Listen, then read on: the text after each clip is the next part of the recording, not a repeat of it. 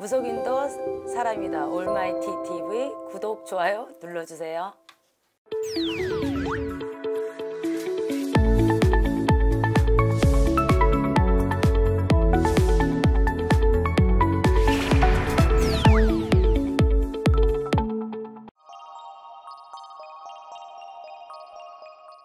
2020년 양띠의 음, 총운은 부부 운이나 인간관계에서는 어려움이 굉장히 있는 달입니다. 어, 서로의 오해, 그다음에 배려가 굉장히 필요하겠고요. 미움도 조금 생기는 그런 운입니다. 그런 운이기 때문에 조심하셨으면 좋겠고요. 그리고 잘해도 욕 먹고 못해도 욕 먹는 그런 한입니다. 그래서 인간관계를 너무 잘하려고 하지 마시고요.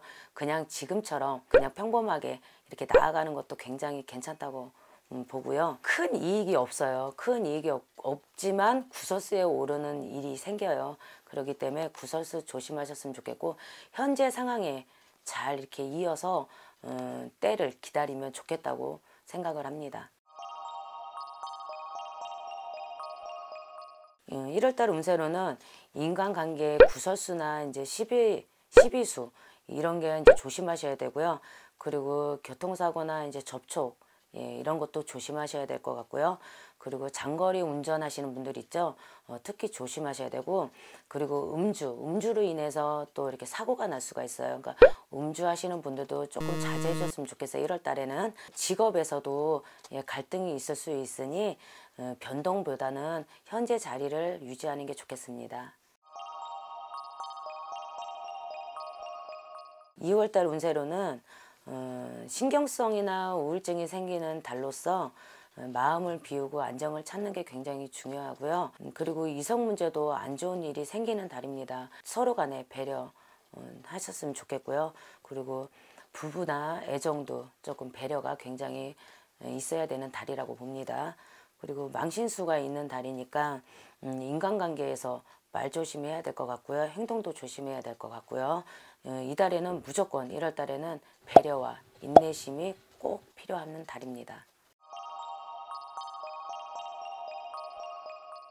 3월달 운세로는 어, 좀 좋아지네요. 예, 시험 보시는 분들 합격 어, 운 조금 좋은 달이고 그리고 진급 승진도 있는 달이 되겠습니다.